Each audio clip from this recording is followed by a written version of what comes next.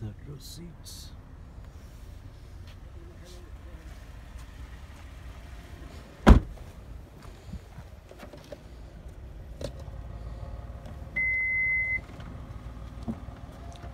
Rear view camera.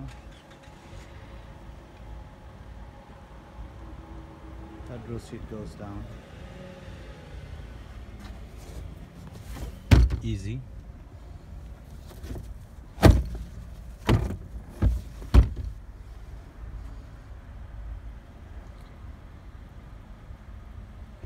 It's got a 20 inch.